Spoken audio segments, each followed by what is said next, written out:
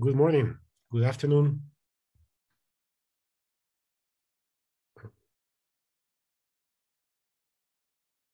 Go ahead.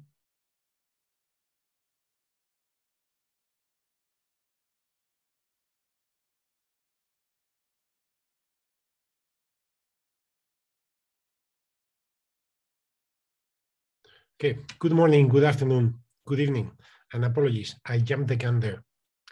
We are delighted to welcome you to UWC Dilijan, albeit remotely, virtually.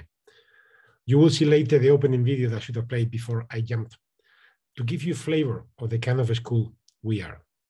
I am Gabriel Ernesto Abad Fernandez, Gabriel, and I have the honor of being the head of college of this beautiful community in Dilijan, Armenia. 216 students from 80 different nationalities and 80 staff of about 17 nationalities in total working together following the UWC mission. Today, we hope that you will meet some of our staff, students, parents, and they will lead you through different parts of the school. We hope that you will get first-hand information and that we can answer your questions later on. So please, any questions you may have, do address them to us in the Q&A or in the chat. Let me tell you something about the school as a preamble. UWC schools are not regular international schools catering for foreign um, citizens or for the affluent local populations. There are schools that are international where actually there's nothing international because all the students come from one country and the teachers from another country. That's not really international. UWC schools are based on deliberate diversity. What do we mean by that? We select students irrespective of their background of the culture, the countries, the languages they speak, the nationality, and we bring them here because of the potential they have. Candidates apply to UWC, and if appointed, the families are means tested, and students are admitted to schools of their choice, or based on the mix of nationalities we try to reach. It could be any UWC school. Our values, our admissions process, and the UWC mission makes us different. We aim at enabling youth to respond to the challenges of a globalized world. We want to educate individuals who, through their own action and personal example, can make a positive difference in the world. And if we look at the news every day lately, we're desperately in need of positive, good news. That's why we provide an education to our students that is independent of the socioeconomic means.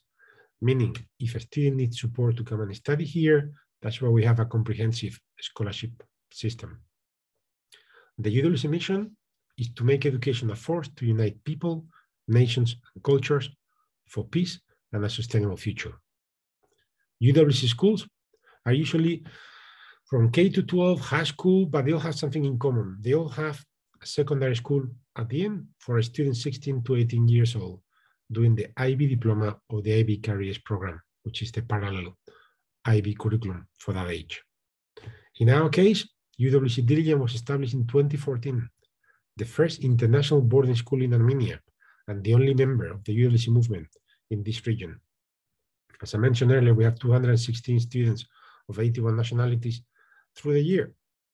Though unfortunately, we don't have students, for example, from some countries because of the way scholarships are allocated. And we always review that to try to bring further diversity. When I moved to Armenia myself, I found this beautiful country and this beautiful modern campus, which enables us to deliver a high quality education combined with opportunities for our students' physical and creative development, while also being active members in the community, both in Dilijan and outside Dilijan. The last week, we had an Explore Armenia program. I was involved in four different trips cultural, seeing the beauty, the natural beauty of Armenia, exploring its historical legacy, its churches, its convents. is an amazing place. UWC Dilijan meets the highest international standards, including environmentally friendly buildings and renewable technologies that were employed in its construction. The school has received numerous awards for the quality, including the Sustainability Assessment Certification and the Build School 2017 Silver Award. Most recently, last summer, we received the accreditation, the international accreditation by the Council of International Schools, which validates what we do after a comprehensive review of all of our processes involving the full community. Our beautiful cutting edge campus enables us to deliver a unique, what we call the UWCD experience. Our host country, Armenia, our location, and the campus are spices. But what else makes it special? It's actually our community. The staff, the students, the alumni, our supporters, our governors, they make the school what it is, this fascinating community. So I'm going to hand over to Caitlin unless we go first with the video. Thank you.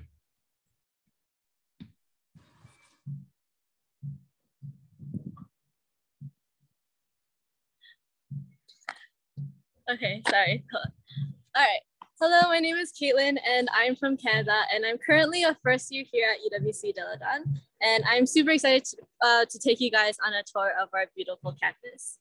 Um, so right now we're actually right outside of our um, AB, which is, and we're at the main entrance right now. And I just wanna like give a little 360 because we're here in the National Park of Dilijan and every time you go outside, you just have a beautiful view of the mountains.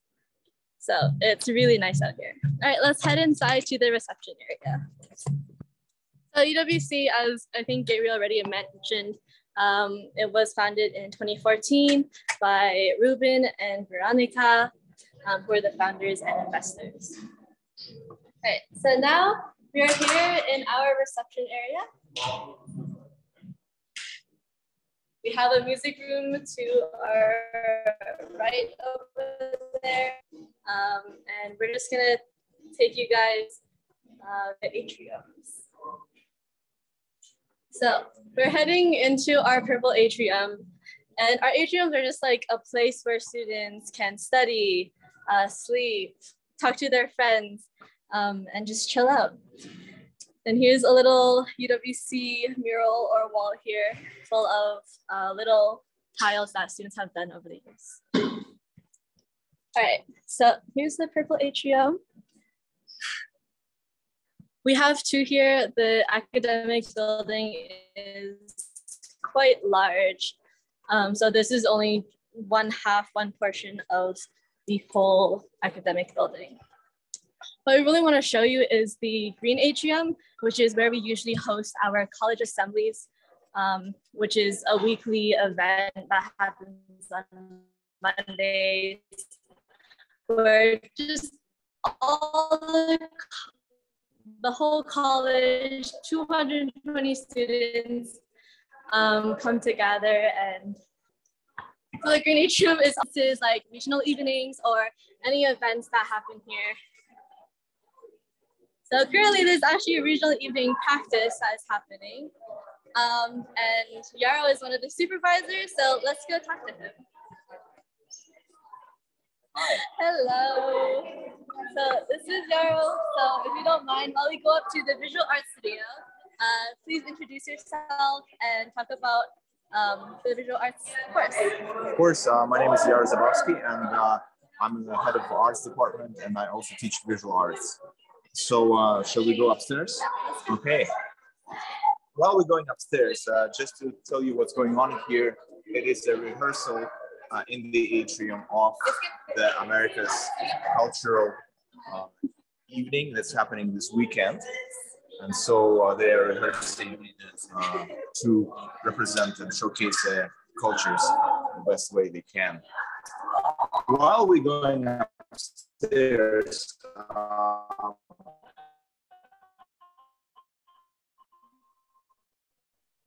just to tell you that uh, our arts department consists of uh, also extracurricular music course, uh, which allows uh, students to study several uh, music instruments such as guitar, piano, uh, violin, and Armenian native instrument, duduk. but it is not an IB course, however. it is still chance for people to engage with music at our college. in visual arts, studios where we're going right now. We're very lucky to have them. They're very spacious and beautiful, and they're equipped uh, with facilities to allow for painting, drawing, printmaking, photography, both digital and darkroom analog, uh, and uh, of course painting and drawing. So Many of our students, they never studied art before. And so here they have a chance to try things out and really experiment. So here we have, oh, here's the dark room where students can print images using cameras such as this one, an antique camera that still works today. Um, but next to it, we have our digital uh, lab. So the analog world and the digital world, they coexist. Um, the climax of the course is the exhibition, the final exhibition, which where students put their artworks and uh, showcase the result of their two years work. And uh, here is our little ceramics uh, workshop with the potter's wheel, sculpture tools. Another interesting point to mention is that students also have personal spaces uh, in which they uh, can develop their work. So maybe we can have a look at a couple here. Sorry. on this, on this side. And uh, here's the collage area, personal space. Maybe we can go on that side too. So it's a great course uh, for everybody who is curious about the world, about themselves, uh, how to express themselves artistically, and uh, gives a great uh, chance to try out different things using textile, photography, ceramics, everything. It really is like a lab in which uh, people develop their creativity, their critical thinking, uh, ability to reflect and uh, express themselves. So now we're just gonna head over to the other side of the visual art studio. So here's a little view of what's happening down below. So maybe um, explain a little bit about what this side is. And uh, you yourself, uh, Uh, yes. course, I also are take visual student. arts. yeah. Take visual arts, guys. It's one of the best courses here. Let's uh, see the view here. Maybe let's switch the camera again. Yeah. So what you see here uh, is a forest, is a forest of easels, uh, because today we had our figure drawing workshop, uh, in which students were practicing uh, drawing human figure, and uh, other students and staff members were actually posing today um, as models. So the, yeah, this is another another studio that we have. And of course, uh, for theater, of course, we have wonderful facilities such as the Black Box Theater, uh, where students are able to uh, put uh, together performances and uh, yeah, host school performances and the, the personal uh, theater stuff. So very, very lucky to have this. Thank you so much, Yaro, for the visual arts um, tour. Uh, we're gonna head over to the library now. Thank you. Okay, good luck. Okay, so the library has three floors. The first floor, which we are going to currently head to, um, is where the reception is. And this is usually where you can find all the books, materials, textbooks for your classes. Um, and this is where the library reception is. A beautiful library here. So on the walls, you can actually see um, there all the picture frames of all the alumni that have come before us, all the way starting from 2014 when the school was built. Um, and then over on this side, actually both sides of the library, you can see all the bookshelves. And then we have this beautiful, beautiful space to just chill out and study. And there's also lots of computers here for use. All right. And the second floor and the third floor. So the second floor um, houses a lot of conference rooms, personal study rooms, um, where people can just have a quiet and private space to work on their homework or assignments um, and just study by themselves. All right, so that is the library. So now we're gonna head over to Marcel's room. And this is just to give you a view of what a normal classroom looks here um, in the UWCD campus.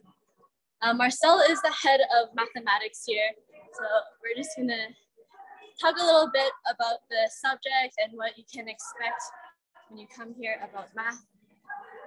Um, right now, we're walking past all the science classrooms, natural sciences, if you're taking chemistry, biology, or um, environmental sciences, this is where your place is gonna be at. Really quickly, this is just like a really cool space as well. It's like right by the windows. Um, and it's just like chairs and couches. On the other side, there is a piano actually for anyone to use. Um, so this is just another place, like a common room. You just sit, study, and chill with your friends. All right, we're almost at Marcel's room. So this side of the academic building on the same floor, um, it's where all the math rooms are. And we're at Marcel's room. So let's just go in and say hi. Hello, Marcel. Hello. Uh, would you like to just speak about a little bit about your experience and just what mathematics is about here? What mathematics is about? okay, uh, first my experience. Um, I'm here now in my uh, third year at uh, in Dilijan. I've been uh, a maths teacher for quite a time and uh, many other different uh, international schools. Um, but this is my first UWC school, and I I like it a lot. I enjoy it a lot here. I like the diversity in the classroom with so many students from all different places.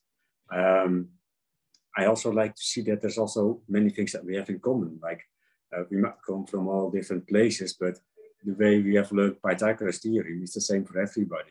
So we're very diverse uh, in my classroom in terms of level, in terms of background, but there's also lots of uh, common things that we have here. Um, so, and uh, I enjoy teaching here. Yeah, we want to hear more from you. I think, I, I think that's great. That's already yes. enough.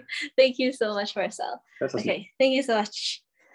All right. Yes, I'll just do a little quick tour of the classroom. This is what a typical classroom here looks like. Um, it's quite nice and nicely designed. All right, so now let's head towards the outdoor facility, um, also known as just the sports hall. So we have a huge gym, we have a swimming pool, and then we have a second floor to our um, sports hall, which is like the weight room where you can work out. There's treadmills, a diff- like a multitude of different workout machines as well. I think a lot of students like to go there after school or even before school if you have that ethic in you. Um, to just go work out, do some activity because studying can be a lot here. It's a big part of your life, so you also need to balance it out with a little bit of exercise and activity. All right, so we just exited the huge academic building. And as we go towards the sports facility, I also want to show you the med center. And this is a very important place here. Um, definitely very important to know. So here is the med center. And this is where all our nurses and all the med staff um, are at your aid all, all the time. This is where some students um, actually stay in the med center sometimes if they're not feeling well. Um, it depends on your case. Okay, so we are going to go towards the field, the field is, I think it's a FIFA standard uh, approved field, which is like really amazing. I'll do a little tour of the sports hall, which is right beside me. And let's go meet Aharon, which is one of the outdoor experience coordinators. Um, so here he is. Hello. Hello, I'm Aaron. I'm sports and outdoor instructor. I'm from Armenia and we are now next to our football pitch, football field, and our sports building. As you can see, we are situated in such a location where we are next to the mountains. We have a lot of forest mountains to discover, to have a hikings, and uh, all our environment for sports it's enormous because we have a full-size football field, as you can see, tennis courts, basketball, mini football, volleyball, basketball, Uh, also, we have gymnastics. Right now, we are doing rafting training in the swimming pool. During project weeks, we are doing the cavings in the mountains. One hour drive from Dilijan, we, we are going to Sevan, where we are doing our water sports. And not far from there, uh, another half an hour, uh, we are reaching to our destination for our uh, ski resort where we are doing skiing for the students as well. So we have a lot of opportunities that we are providing. Uh, during all the weekends, we are, have, we are having sports and outdoor uh, events and activities. This week, we are going to have master class from Yerevan for badminton.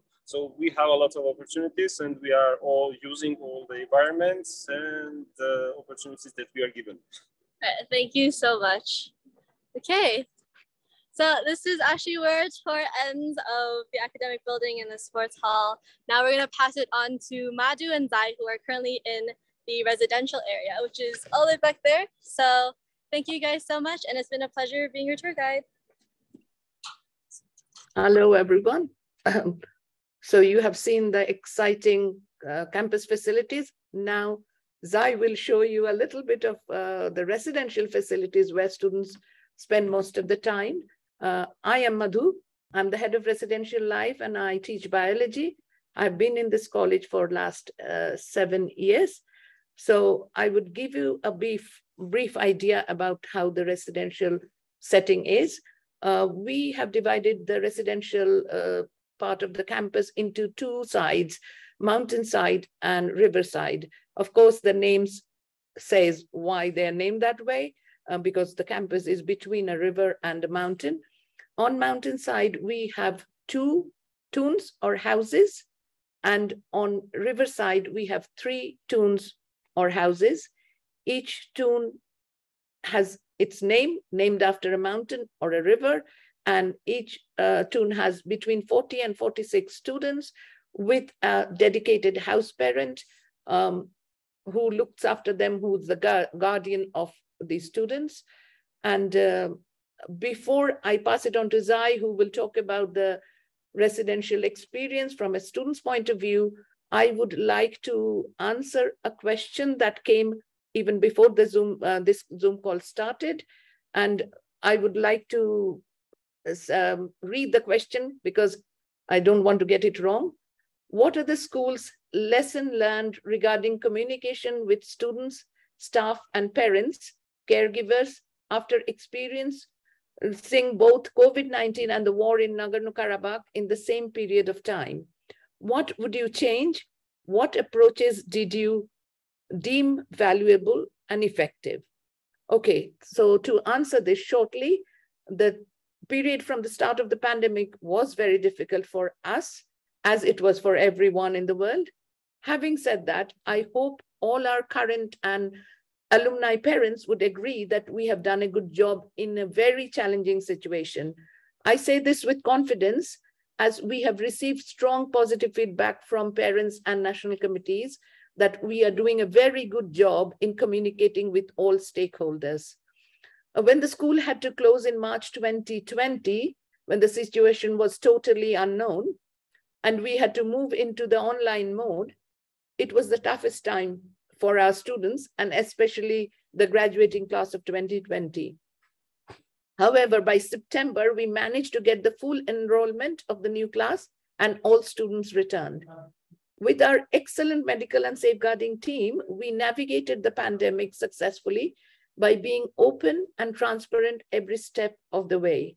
Uh, when the war broke out, we followed the same strategy and communicated with the parent community almost daily in terms of lessons learned, the communication is vital to the trust between the parents and the school. And we will continue to maintain our standard and we will welcome any feedback from our stakeholders. And we love to hear from you to improve more and more. Now I'll pass on to Zai, who will share the residential experience and show a bit of the residence. Hello, everyone. My name is Zai. I'm from England. I'm uh, quarter English, quarter Australian, and half Indian. Uh, I am a tune rep for Akstev Tune, and uh, I live in RS. And something that I think is quite cool about the tunes in this school is um, that each tune is named after uh, either a river or a mountain in Armenia. So all of the tunes in Riverside are named after uh, rivers in Armenia, and all of the tunes in Mountainside are named after the mountains in Armenia. And the tune that I'm in is the, named after the river that's actually runs like uh, aside our campus, which is uh, called Akhstev River. So we have a very uh, nice sound of Akhstev River every time I open my window. Um, so the first thing I'd like to talk about in terms of residential life is just the sheer amount of freedom that we have. Uh, this isn't something that I would be able to say if I'd given this talk um, this time last year, because this time last year we were in uh, COVID quarantine, of course, because of the pandemic. But uh, I would say due to some pretty tireless work from the staff and from uh, the med center as well, we've been able to uh, get everyone or enough people on campus vaccinated, um, meaning that everyone is basically safe to uh, explore the country. And uh, on top of that, Armenia has uh, COVID seemingly quite under control at the moment. So we've um, since uh, the start of this my second term, so since January, we've been allowed to be basically essentially free off campus, which has been an incredible experience to uh, see Dilijan and to explore, to go to the cafes, to um, go on hikes like on our own. It's just been a wonderful experience. Um, another thing I'd like to talk about is something that we have only uh, started for uh, this term. It was a, a, curriculum that had started um, a few years ago, but it stopped due to COVID, I believe, and then it uh, started up again, uh, which is the residential curriculum. In the residential curriculum, they uh, we're essentially taught things that don't quite fit into the academic uh, schedule or curriculum. Uh, but are still important enough to be talked about. We learn things about consent, about sex ed, about sleeping uh, schedules, um, about the difficulties of moving away from home. And that happens every tune time, not every tune time, sorry, uh, in certain tune times, um, which uh, occur every Thursday, which basically is a time when you and your tune come together and talk and hear announcements, um, play games. It's basically a time to connect to the people who are in your tune or house. Um, what else is there to talk about? Uh, would you say a little bit about how the rooms are? Oh yeah, the... sure. So uh, in uh, both RS and MS, the rooms are either two people or four, four people rooms. And there are two different types of two people rooms. There's the what's known as a teacher's apartment, even though students uh, live in it, uh, which basically are like bunk bed rooms. And that's where you um, have, yeah, obviously bunk beds, and then you um, have two next to each other, and then you have a communal sort of kitchen that you can have like kettles and like portable stoves and stuff. You can um, have all of your coffee stored there, you know, wherever you want. And then there's also uh, just other, um, what's it called? Uh, there's just two people rooms, which are, is there a name for that? Two people rooms? No, it's just two, tw yeah, twin, rooms, rooms yeah. Uh, which basically are two rooms next to each other, and they have a like their own toilet that they share between uh, four people. So, um, oh, and then obviously there's another type of room which is the four people person room, and in that, as the name suggests, they have four people. There's no like uh, communal toilet for that. Obviously, the entire corridor shares um, the toilet for the four people rooms. And when it comes to um, sort of communal living and that sort of aspect of it, there are four showers, uh, no, four showers, one bath, and three toilets in each corridor. And um, so yeah, like it's not you never you basically never get to a point where you go to shower and like you have to wait because usually people have different enough schedules um, that you don't ever like really run into so many people that you can't find the time to shower. Um, with regards to stuff like socializing, I think that's a really exciting part of UWC Dilijan that I've heard about other schools, uh, that I've heard about um, is slightly different to other schools. In respect to socializing, uh, Dilijan um, has like these beautiful common rooms that you can access. Would you like to show? Yeah, a I will bit? actually. Yeah. Okay, come with me. so yeah, okay. So um, this is well, currently we're in RS1. Uh, in Riverside, there are three uh, different like levels to it. There's RS1, RS2, and RS3. This is RS1, and we were currently sitting at like the reception area. And then there's a little um, table tennis table there. And then you also have these um, like slightly detached rooms as well, where people come to study or to talk or to watch films or to have meetings as well. So that's a really uh, fun part. And that's uh, this is pretty much the only place in the residences that you are allowed to access every single minute of the day. Uh, obviously, apart from when you have classes, because you have to be in class when you have class. Um, but like that's slightly different to the other uh, places on campus because um, after check-in, um, you have to either be in your own corridor or like in any common room, which really isn't that restricting because um, there's so many common, there are six common rooms, no, seven, six or seven Mhm. common rooms uh, in the residences, and you can basically find anywhere and at any point. So yeah, that's that's pretty much it from me. Um, feel free to ask any questions in the Q and A, and yeah, uh, let me pass it on to the student council now. Thank you. Good morning, good afternoon, good evening, everybody, from wherever you are watching us. Uh, hello, everyone. Uh, thank you, Zain Madhu, uh, for the information you provided us with. Uh, we're extremely happy to have the opportunity to tell more about our wonderful school. And now we will talk a bit about uh, student council and what is it, how is it being elected. So I'm Natalie, I'm Lebanese, and I'm 18 years old, and I'm a co-representative of StuCo. I'm Haraj. I'm 18, I'm also 18 years old. I'm also a co-representative of Student Council.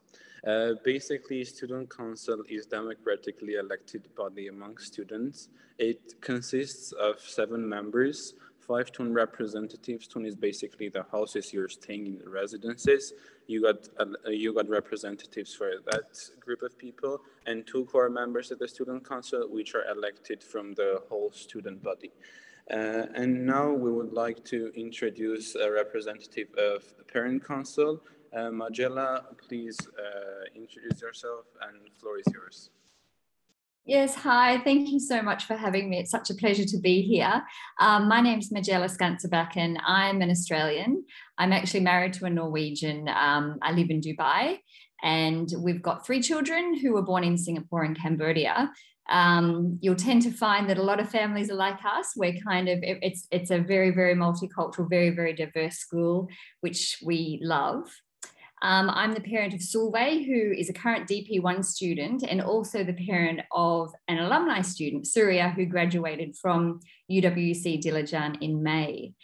Um, I'm also the chair of the UWC Parent Council. Um, we're very, very lucky that the school um, encourages parent communication. Uh, they are very open to us um, having a lot of contact with them and very open to any communication we have. So the Parent Council was actually created in 2021. And basically, we just serve as a conduit to liaise between UWC leadership in relation to any issues they might have and with the parent community at large. Um, we've got four different uh, committees. There's an onboarding committee. So when new families join the school, we try and um, put families with well, basically, we try and put you with, say, if you are Chinese speaking, we'll put you with a Chinese speaker in your region, in your time zone as a parent buddy to support you. And the same thing all around the world. There's a lot of parents who put their hands up every single year to do this, and it's a really lovely program that the school have got. We also have a graduation committee, and the graduation committee, um, uh, we're just starting it up again now, getting ready for our, our next graduation. And that's a really nice graduation. It's a time when a lot of parents come to the school for the first time. So we arrange as a parent council for parents to get together the day before the graduation to meet each other, to have a day out together. We also have another committee, which is like a, it's a UWCD and beyond committee. So there we're thinking about um, internship opportunities and gap year opportunities for kids. And also within that, we're trying to connect kids and families and alumni because there is an amazing, amazing network of people out there. We also have a fundraising committee um, and that's obviously, it says itself. So we try and fundraise because, of course, there are a lot of scholarships and a lot of students who would really benefit from going to UWC. So that's us. Uh, we're always around. If any parents want to get in contact with us, we have parents who are happy to chat to you, even if you're not in the school yet. We're happy to chat to you if you've got any questions. Thank you for having me. Thank you very much, Majella. And now we would like to address a couple of points. Uh, the first one is uh, student governance, how it's being done and what is the student council actually doing. Uh, student council is basically the representation of student body in front of college leadership team.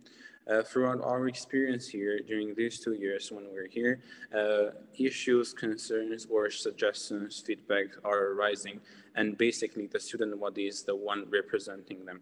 So I can state that the role of the student council is basically the bridge connecting the college leadership team and students. And I believe uh, student council is one of the tools which uh, makes this place and the whole community operate in a very successful and constructive way. Um, and then another point. So we have elections regularly. We have uh, about four mem- four representatives for each tune that come throughout the two years that your mm-hmm. teenager is going to be in UWC. So you will see how we can actually we learn how to actually communicate our issues with the administration and actually have a decent connection with them and communicate to communicate with them eye to eye and not as adult students more of a relationship that is taking into consideration what we say and, and taking into consideration what they say. So it's more of a friendly environment that we actually learn to understand each other Yeah. And the period of time we are taking our roles is, is approximately 20 weeks, which is basically the health of a school year. Yeah. Knowledge of English. So moving on, a concern that a lot of people have when they're gonna send their children or when as a person you're not comfortable that much in English, you ask yourself how, na- how native should you be to actually be able to join UWC since everybody speaks English. Believe me when I say this, English is my third language and I've learned it throughout my first year. I've went I've, I've been through a lot, but it, ne- it never stopped me from communicating and it was never a barrier as as you can consider that you will find somebody here that understands you. If you need a word if you miss something and teachers are so willing to help you like they're very very nice. They're never gonna be discriminated against anybody looking like do you do you feel like you're gonna be judged when you come here? You're not gonna be judged. You're not gonna have anybody looking at you as like inferior because you don't speak english. So english is definitely not a barrier for anybody don't consider it a problem or an issue that you will have. You will learn. It's gonna be okay. You're gonna be just fine. Uh, I can totally relate what Natalie said, and like when I came here, my English not was isn't was not the one which is it now, and so basically this place is also an opportunity to develop the like English language communication skills you might need in your further future, because like English is the international language of the world, which like we're aiming for to go and become global citizens. Uh, another point we would like to address with which uh, which what program we're studying. It's academics, and uh, academics is basically based on the International Baccalaureate program. We offer a variety of subjects, economics, global politics, uh, math, sciences. sciences. arts, music. Uh, a wide variety, yeah, a lot. Uh, basically everything. And we can talk also about CAS opportunities uh, just before that, if you're worried about how difficult the IB is, it's a rigorous program. We're not gonna lie, but it's it has we have so much support that it's not difficult. It's just gonna be rigorous, and it's gonna be a lot of a lot of things happening, which includes CAS and activities in the community. So about CAS, we have CASs are basically extracurriculars that the IB that are requirements for the IB. So you have creativity, activity, and service. So we offer so many student-led opportunities as uh, like CASs. So everything, all CASs are led by students. You can open any CAS you want. If you want to open, if you want to open an, a Minecraft CAS, you can open it. Anything that you're passionate in, and you can join any CAS. We have as far as activities? Yeah, uh, we have activities, football, basketball, volleyball, every sport that Ahar mentioned before. There are CASs and then there are student initiatives, and I think they're working very well. Yeah, we have a lot of services. We have uh, local organizations. We, we have uh, tutoring, language tutoring, French, Arabic, Chinese we have so much science with kids. We have a lot of services with the community, which allow us to be involved outside of school and actually learn a lot more than only in the classroom.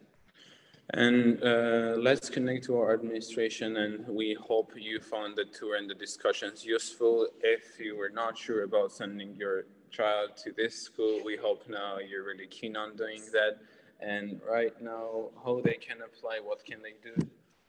So can you please connect to the administration? How can, how can your child apply Tatevik? How does one apply to WCD? Hello, I welcome everyone. And uh, um, uh, I'm Tatevik. I'm uh, one of the admissions team members in at UWC Dilijan. And uh, I'm here to explain you any uh, application routes that you might be interested in and also answer any questions that you might have to come up to our end. So there are two main routes to apply to UWC Dilijan, the National Committee and the Global Selection Program. If someone is interested in a scholarship place, then they should choose to the, the national committee route. And there are over 150 national committees in the world. They are usually run by the volunteers, by the alumni, by the educational specialists. So if someone is looking for a scholarship place, they should apply by a national committee. It is, I would, um, I would uh, suggest anyone, I would recommend strongly anyone interested uh, in applying for the for the class of for the entry class of um, 2023 right now um, to find to get connected with your national committee because most national committees have open applications right now. And I think the the um, uh, the application deadline is very close to the end for some countries. So uh, of course the deadlines, the opening of the applications are different from country to country but uh, making sure where you qualify to apply, where you are eligible to apply uh, may take some time and also um, taking, um, preparing recommendations from the teachers and preparing all sorts of documents may take some time. So if you are, if you want to apply by a national committee or if someone is interested, I'm just recommending uh, doing that as soon as possible. And the other very important route is uh, the GSP, which is Global Selection Program. Uh, global, if someone has, that has no, um, is not looking for a scholarship or has no issues with paying the full education fee to the college, then they can apply through the global selection program. So the last, after the COVID, the selection via the global selection program is run um, uh, online and um, and uh, the date there are no there is no deadline specified at the moment. Uh, but anyone interested to apply might be it might be in the applicant's interest actually to apply as soon as possible to sort out their plans for the coming 2023 earlier on i would say. And then uh, other than these two routes um, i uh, I would also recommend anyone interested, even younger generation who do not qualify to apply right now, to, uh, to register their interest in applying or their in general interest to WC Dilijan via registration of interest. I will uh, copy the link right now in our chat here. Uh, I hope we can wait a minute. I don't know if we can share it all generally, but I would very much like to share it. So yeah, here it goes. So the registration of the link to the registration of interest, which means that people will, we will certainly get in touch with them. We will share more details about the application routes and how to get to um, college, but and also uh, share some newsletters and updates from the college, um, give them um, uh, knowledge about the upcoming programs in the college, events, short courses around the network in UWC, MUN program that our students are running, and many other things that any applicant might be interested. Uh, I think um, uh, there is uh, there is also the, another route, the direct entry applicant, which which has a very limited uh, amount of places. And I will keep this for another time. And I will give the floor to you to ask another question to Mane. So Mane, what kind of young people are we looking for? What are the selection criteria? Hello, everyone. My name is Mane. Uh, I'm also part of the admission team, and I welcome everyone um, on this uh, webinar. Together with Tatevik today, I'll help uh, you get to know um, a little bit more about the application process to UWC Dilijan, and I'll start by answering the question that Natalie asked. Um, following up on what Tatevik said about the application process and application routes, um, although the application um, process for each national committee may be different and the application timeline may be different and the process is also different from the global selection program. However, um, all UWC selection processes are based on the uh, UWC um, five uh, key criteria that are uh, common for all the UWC schools, all the national committees across the world. So there are five uh, key criteria, as I said. The first one is intellectual curiosity and motivation. It's about how curious you are about to, to learn about the world around you, to academics and beyond. Um, second one is called active commitment. It's about how much you're ready to actually act on your beliefs um, and how committed you are to them. Uh, the other and a very important one is social competence. How well are you equipped to interact in a group, work with the group, be part of a team, be part of a group, um, especially um, since this is a um, boarding school, this is something really important, but in the educational process, the group activities are also very important. The fourth one is about resilience, personal responsibility, and integrity. Um, you have heard a lot about how amazing this experience is, but we need to be honest with you that it is also a difficult one and a challenging one, and you need to be resilient enough to be able to go through it and really benefit from it. And the last one is motivation, how how motivated you are to, to succeed, to learn, to build those relationships and connections um, in this diverse community, um, and how motivated you are to promote the UWC mission and values. Thank you. Thank you very much, Mona, for your answer. Uh, there is another question. Uh, my son applied through the global selection process program and expressed interest for three schools. However, he could not list them in order of preferences. If he gets accepted, how is the decision being made to what college he will go? And is there any opportunity to express his preferences after being selected? Yes, the GSP, although there are no particular priorities given uh, in the application in the earlier stage, however, during the interview stage, the applicant will be asked about their preferences and their pre preferences will be certainly considered. Thank you very much. Another question. Do you have any suggestions on how to prepare teenagers for the UWC experience?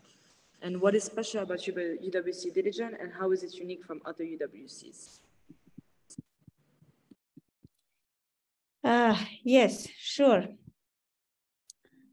Um, I would say there are no special and particular suggestions. However, an applicant with a caring attitude and character, sense of responsibility and idealism, open-minded in a sense that can approve these qualities during the selection time through their behavior, through their life experience and other situations like services, volunteering in their home country or community, will most likely, this, this uh, these people who are able to convince us, they will be they will be able to win the elections.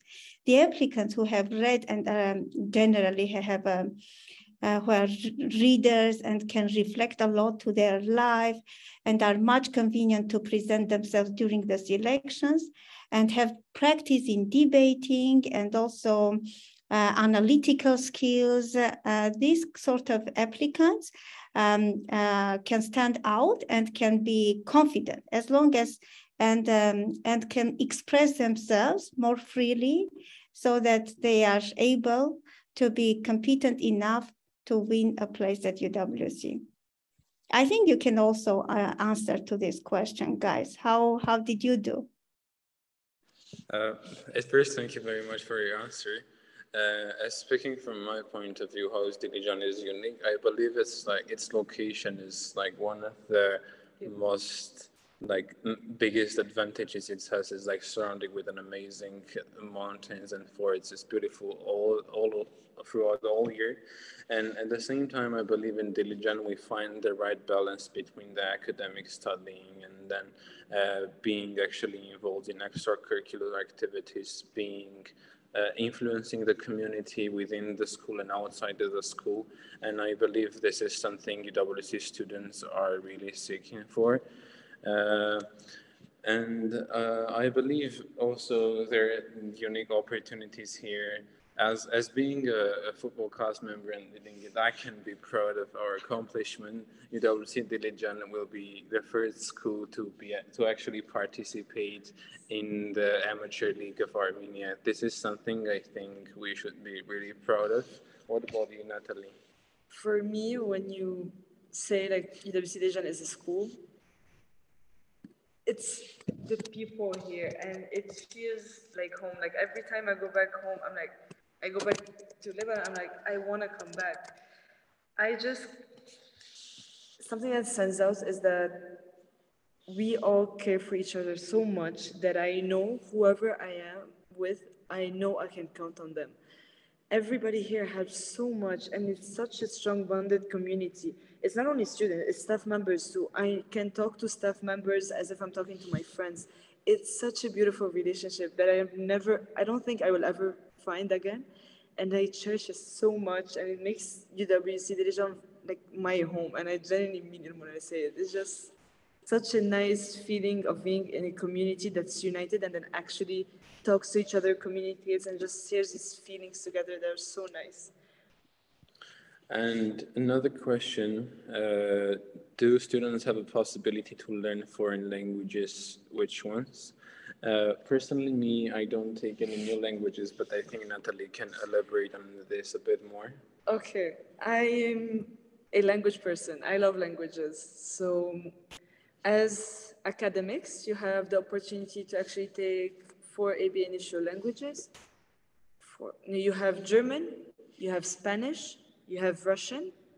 Okay, so you have three ab initio languages. Sorry for the miscounting but you also learn a lot from people. You can improve any language here because you can find people from so many different backgrounds, so many different countries that speak so many different languages. So if you have in mind to learn, let's say, I don't know, Chinese, you can actually expand your skills with classes, service classes that actually teach languages, other than the academics. You also learn Armenian, since you're in Armenia, we offer also a basis of Armenian, and you get to practice outside you will learn a lot of languages and you will hear a lot of languages next to you. So it's definitely a place where you can actually learn more with like, different languages. Thank you, Natalie. And I believe another question which people are really curious about what is the daily schedule of a typical UWCD student? Uh, mm. Uh, I can speak on my behalf. Uh, this differs from every yes, student. It's this is different. really, really different. It is based on your priorities, what you want to do. Of course, the classes start at the same time for everyone, and like everyone has like a roughly same amount of time for classes. But after that, you have your own schedule for me, usually like I wake up at 7.30, maybe have a breakfast, yes. then go to library to study a bit. Then I have classes from 8, yeah, and before, from 8.30 till usually 4.30, I have classes. After that, like I go do some like physical activities to refresh my mind. Maybe it's football, gym, like swimming pool, all the facilities we have here. I'm trying to like get use from all of them. and after that, uh, I'm studying, having dinner, and then socializing. Yeah, and and and that's my daily routine. I usually I'm studying. Yeah, I'm studying.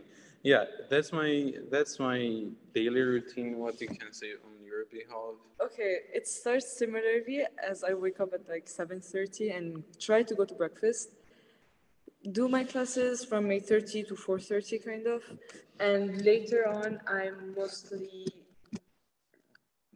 i mostly have CAS, mostly service Raj is more of an active person i'm more in service. But i also put like put invest a lot of time in the region and evenings so as you've seen in the atrium there's one going on right now and i should be down there but it's okay. And I usually invest a lot of time in this because it's a lot of representation of the culture, and I really like to focus on the culture aspect and learning languages here since it's UWC. So it generally differs on how how your vision of UWC is and what you want to prioritize. And then I have dinner, and then it's my studying time slash I study with my friends kind of because I can focus more and at the same time I socialize a bit, so I don't feel like I'm in my room all the time. I barely go to my room. But yeah, that's my daily schedule, kind of. Mm, next question. Uh, yeah, next question. On average, how long does it take for your one student to settle in? Uh, I believe uh, this also can differ pretty much. For some students, they're really outgoing people, and then it will be really easy to adjust to the new community. For some people, it might be one of the challenges they face here, and like that people around them will help them to overcome. But I believe it won't take like longer than a month, like a to month fully is... settle in. After a month, you get you familiarize yourself with everything almost. You will still learn; it's a learning process, but then you will be pretty familiar with everything in one month. How people come and adapt is what differs from a person to another. Personally, for me, it was not that big of a challenge I mean, I, was pretty happy that I was here. It was very exciting. Some people find it very overwhelming at the start, but then it just gets better. It won't take longer than a month usually. Yeah, and now uh, we will address the questions from uh, question box from Q&A side. Uh, in the future, will there be a pre-IB grade 10 program? Mm, thank you, Viraj. Um, as uh, you may know, we were uh, intending to launch a foundation program, uh, one year um, program before the IB. Um, however, uh, we when we explored the uh, demand for it, um, one of the things that is really important for us is the di diversity of our cohort. And one of the reasons that we decided not to move forward with it was that the interest was mainly from uh, one region. And we realized that if we were to launch it, we wouldn't be able to have that diversity uh, of the cohort and that uh, multicultural uh, environment and experience for our foundation year students. So we decided not to move forward with it. Right now, we're not intending to launch a, a foundation program in the near future. However, we might come back to it at some point later to explore that possibility again. Um, and yeah, and I would like to also say that uh, if uh, for some reason we don't manage to answer all of your questions today, please feel free to reach out to us via emails. We're really good and fast at answering them. So we want to make sure that we you get the answer to your question just in case we don't manage to do it today. Uh, thank you very much, Mana and Tatevik. I believe all the answers were like pretty useful. And uh, at the end, I want to thank everyone who joined the meeting. We believe this was helpful for all of you. And now we would like to watch the story of UWC Dilijan. Thank you everyone for Thank joining. Thank you.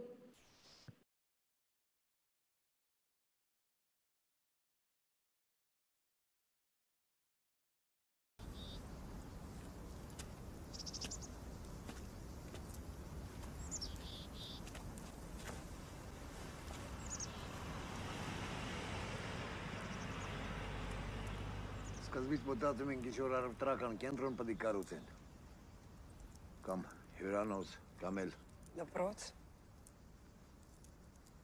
Դպրոց։ Այդ ձևի դպրոց Դիլիջանում ում է պետք։ Իմ աղջկան։ Thank you.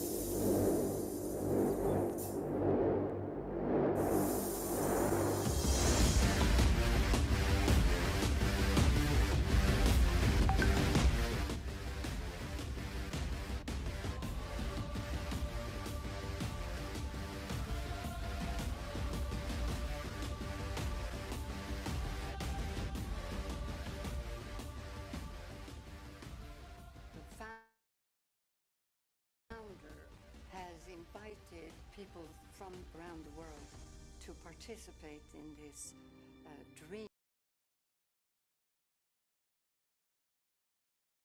Our school in Dilijan is an international boarding school which will attract the kids all over the world. It's a community of like-minded people who think globally and feel a sense of responsibility towards the future of the world.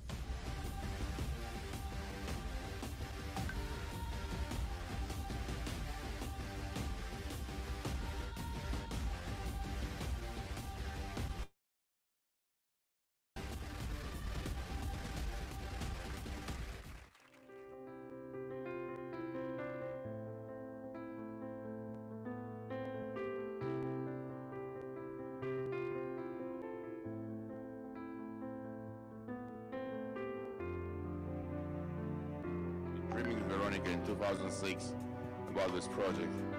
It looks like crazy idea, and now it is reality.